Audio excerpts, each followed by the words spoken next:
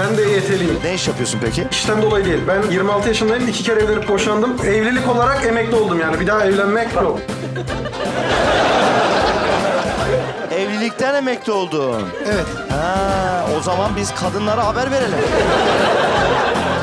Adın ne? Tevfik. Gidin bütün diyarlara haber salın.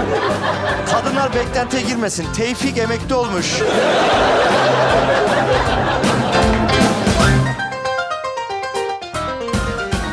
Sola doğru esnetin? Bir insan doğuştan bunu sola doğru olabilir. Bu normal yapacağım bir şey yok. Öyle doğmuşsun. Bir insan niye parasıyla burnunu sola doğru kırdırır? Ben deviyasyon diye gittim ameliyata. Doktor bana acımış. Ücretsiz bu kadar yapmış. E madem acımış biraz daha vicdan yapsaydı ya düzleştirseydi. Doktor böyle acıyıp bir yerden sonra şey demiş. Bana ne ya?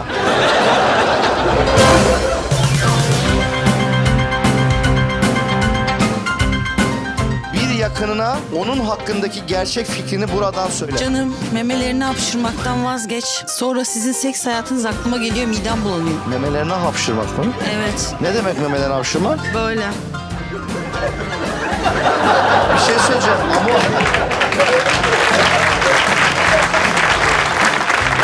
Peki o hapşırınca çok okşa mı diyorsunuz? Ne diyorsunuz? Ben de bir tane mesaj gönderebilir miyim? Tabii ki. Eski sevgilimin en yakın arkadaşımla flörtleşip benden bir buçuk yıl sakladığını buradan ona söylemek istiyorum. Hiçbir ortamda bana söylememişti bunu. Şu an barışma aşamasındayız ama büyük ihtimalle bunu duyduğu zaman tekrar ayrılacağız. İyi de oğlum bunu sen duyunca ayrılmanız gerekmiyor mu?